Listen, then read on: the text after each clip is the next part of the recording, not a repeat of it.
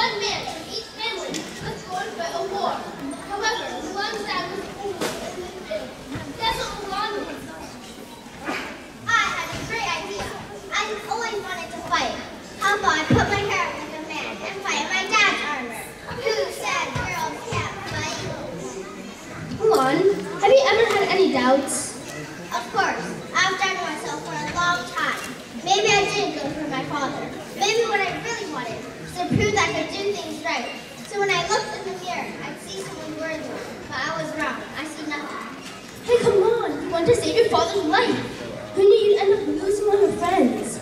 You know, you just gotta, you gotta learn to let these things go.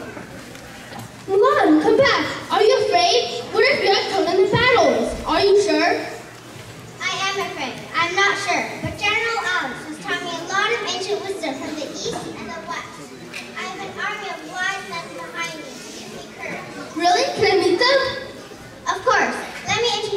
You.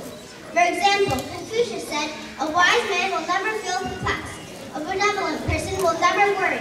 And a brave person fears nothing.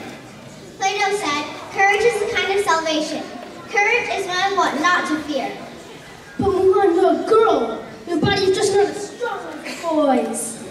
It is not the strength of the body that counts, but the strength of the spirit. It is a wild, wild west out there. And you don't even have a pistol. John Wayne said, courage is being scared to death, but saddling up anyway. Bye, I'm off to battle. Thank you for listening. Wait for me. Bye, everyone. But I need to witness Mulan making me legend now. Mulan! Mulan!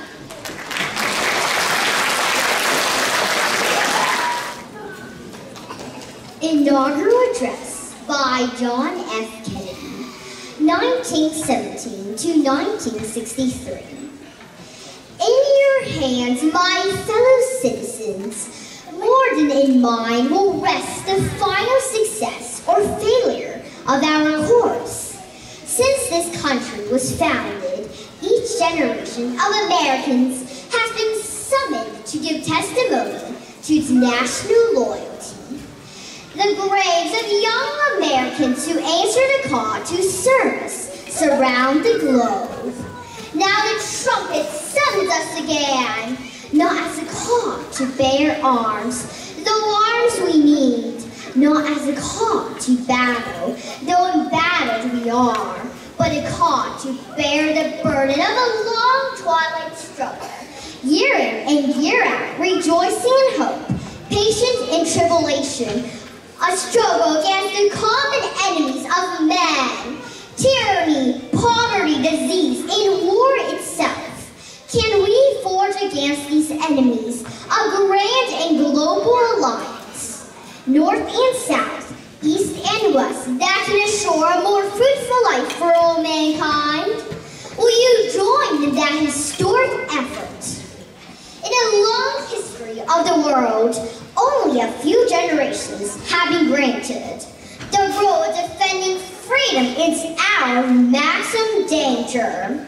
I do not shrink from this responsibility. I welcome it. I do not believe that any of us will exchange places with any other people or any other generation.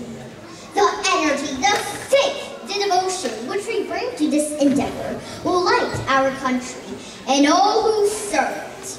And a glow from that fire can truly light the world. Americans, ask not what your country can do for you. Ask what you can do for your country. My fellow citizens of the world, ask not what America will do for you, but what together we can do for the freedom of men.